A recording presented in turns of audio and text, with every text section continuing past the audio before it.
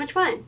So today we're doing a lens comparison video with the Batis 85mm f1.8 versus the Sony 85mm f1.4. That's what this video is about. So, how do you choose? How do you know what lens to buy? I mean, it's a huge huge decision. It's a big purchase and you just don't know. So I wanted to do a lens comparison video with you guys and to show you the difference between the two and help you make that decision. But I also wanted to chat with you really quickly about renting lenses. So my friends down at Horn Photo have this amazing selection of lenses to rent. Um, and pretty much your local camera shop will probably have the same thing too. Now, I got these down from um, my friends down at Horn Photo and I'm testing them out. But I wanted to let you guys know that it's an option. So basically, you can go rent a lens for 25 50 or $100 depending on what you're looking for if you want to rent it for a day or a week. Um, and then that way you can test it out before you actually buy it. I find that to just be super awesome. So I've rented a bunch of lenses um, from my local camera shop, which is Horn Photo, and um, it's saved me a lot. And so it's just a really awesome option that I didn't know about before. And being able to rent a lens, there's so many reasons why you would want to rent a lens, but to test it out is one of those reasons. And to see if that's actually the lens you want to purchase. I mean it's going to save you a lot of money. Yeah you might be out the 25 50 or 100 dollars but at least you're not out that 1000 to 2000 dollars right? I mean at least you didn't go purchase this um, big purchase and be disappointed with it. And that way you can really make a good informed decision. So um, I'm testing these guys out today and um, seeing the difference and comparing them and helping you guys with that decision as well. And so I wanted to to share this with you. Um, a lot of people have asked me to do more lens comparison videos and so that's what we're doing today. So let's talk about these two guys. Typically an 85 millimeter lens is used for portraits. So I'm going to bring in a special guest, not really, it's Yoda. We're going to go out and we're going to be taking some pictures of Yoda with the two different lenses. Normally an 85 um, isn't typically used for landscape photography per se. I am going to try it out with landscape stuff to see what I think about it, but 85s traditionally are used for portraits and I wanted to share that with you guys. I know that typically I only share landscape stuff with you, but we're going to play around with taking fun photos of Yoda. So, first impressions. This thing's a lot lighter than this thing, right? So, the Batis feels lighter. We're going to do a weight comparison and the Sony just feels heavier. You can just feel them. Now you can also tell that the size is a huge difference, right? So that's in itself something big. Um, both of them come with the little lens hood, which is great. Um, so that's it with the lens hood. Now this has an actual setting where you can see where you're focused to. So it'll light up and it'll show you like when you're focused to infinity or whereabouts you are, which is insanely helpful when you're taking night photos or when you're in, you know, any sort of dark situation. That's really awesome. I love that. Um, now, this guy, same thing. It has a button to push in order to be able to get it clicked on there, right? So you heard it snap. Um, you have to push that button. It has to lock in. But the one thing with this one is it has an aperture ring. So, and it clicks to it or you can make it smooth, which is going to be really awesome as far as if you wanted to do video and change the aperture in a smooth way. Like that's really cool. So that's the like main differences that you see um, just right off the bat. So let's weigh them and see the difference between the weights and then we'll start playing around with photos. So let's go. Time for the judge.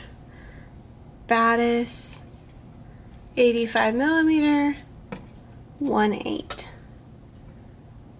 1 pound, 3 ounces. Sony 85 millimeter, 1 4. 2 pounds, almost 2 pounds, 1 ounce.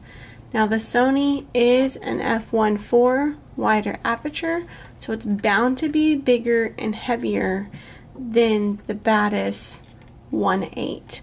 But that's almost a pound difference.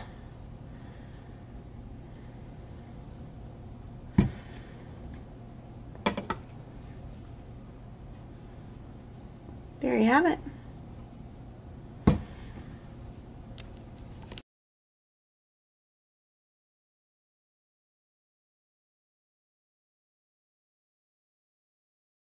I made it out here to my spot with my model Yoda. and we're going to be starting with the Sony 1.4 and um, just taking a couple shots of her and seeing how it goes and then we're going to switch.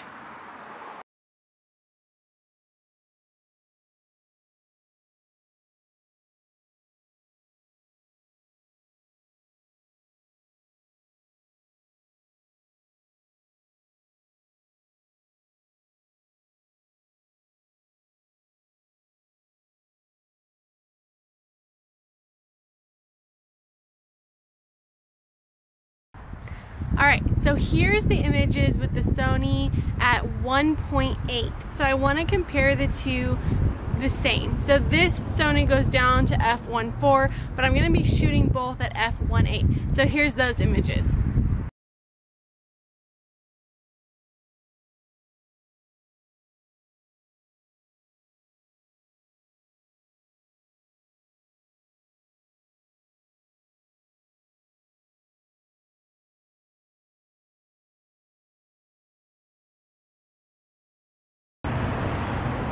So the cool thing about the Sony is it has an aperture ring.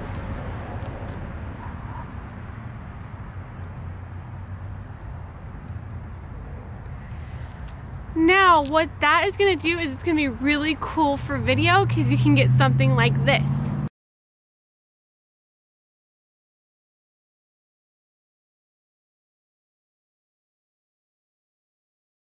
Course, you can recreate that without the aperture ring, but the aperture ring makes it nice and smooth. So I really like that part.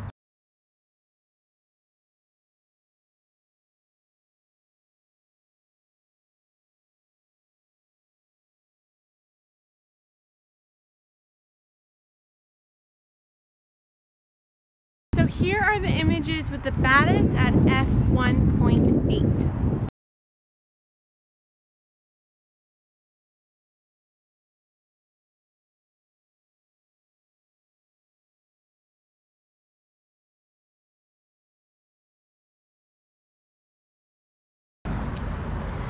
Okay, so let's compare these side by side, Sony versus Batis. Let's talk about the bokeh first. So the Sony has a nice, soft, creamy bokeh compared to the Batis, which is a little bit sharper and has a slight swirl to it. So it's a slight counterclockwise swirl. Really look at the two photos and notice the difference between the bokeh. Let me know in the comments below if you can see the swirl in the Batis bokeh. Next, I wanted to really point out that the Sony had a bit of chromatic aberration in this scenario. So that's that blue hue around Yoda's ears. Now, looking at all the Batis images, there was not a single one that had chromatic aberration to it. I just wanted to show you that the Sony did have it.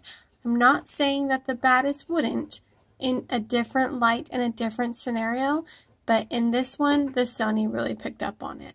Finally, I want to talk about vignetting. The Batis has a bit more of a vignette than the Sony. So what that is, is around the edges of the photo, specifically the corners, you can see that it's a little bit darker on the Batis image compared to the Sony image. That's the little extra vignette that the Batis has.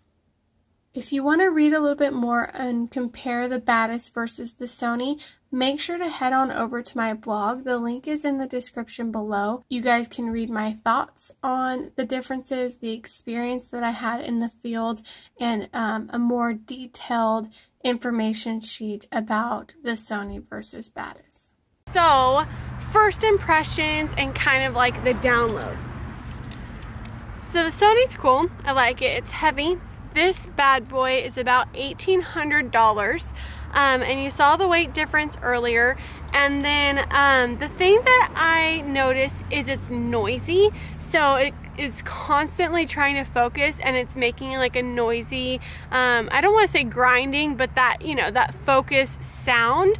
It's constantly doing that. I'm not a big fan of that. Um, and it's really slow to focus. So in autofocus, it's, you know, it's readjusting and trying to focus and it's taking a while. Now the Batis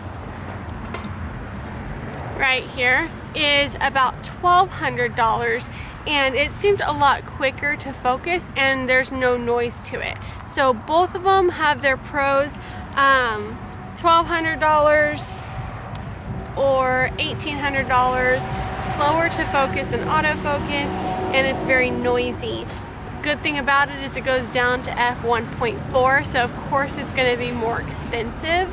Um, and then it has the aperture ring, which I found really cool. Um, and then this guy, $1,200. It's lighter, so I think that that's really great. Um, it focuses a lot quicker, but it does only go to f1.8, so you're missing that little bit, um, which, you know, can make or break it for some people. So anyways, that's kind of what I'm thinking about these two in particular. Um, I was really turned off by the noise. I'm not gonna lie, I really didn't like the slow autofocus here and the, the noise that it made constantly um, with the Sony. So anyways, that's just something, just maybe my own personal preference, but something that I don't really like.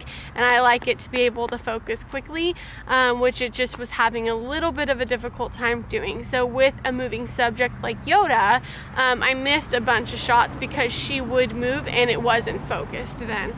Um, but anyways, so that's pretty much it. I hope you guys enjoyed this video. I think if I were to choose, I would be choosing the Batis. Just, this is my first time playing with it, but I'd be choosing the Batis for the reasons that it's cheaper, it's lighter, and um, I typically don't go down uh, below f1.8 unless I'm doing like a really close-up portrait.